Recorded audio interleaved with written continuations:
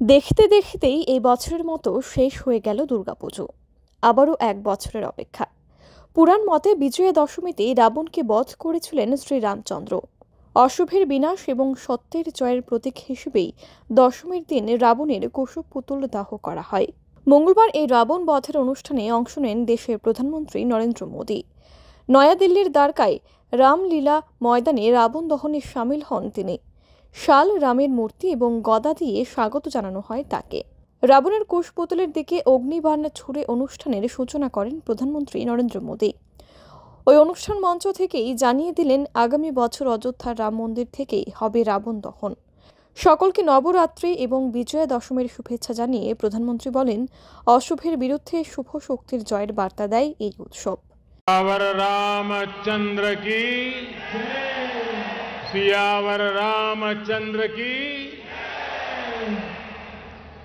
मैं समस्त भारतवासियों को शक्ति उपासना पर्व, नवरात्र और विजय पर्व विजयादशमी की अनेक अनेक शुभकामनाएँ देता हूँ।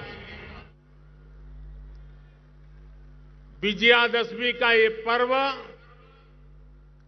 अन्याय पर न्याय की विजय, अहंकार पर विनम्रता की विजय और आवेश पर धैर्य की विजय का पर्व है। এই দিনের রাবণ দহন অনুষ্ঠান থেকে প্রধানমন্ত্রী জানিয়ে দেন, আগামী রাম নবমী অযোধ্যায় রামলীলার মন্দিরে পালিত হবে। দীর্ঘ অপেক্ষার পর এই মন্দির ভারতীয়দের ধৈর্যের এবং জয়ের প্রতীক।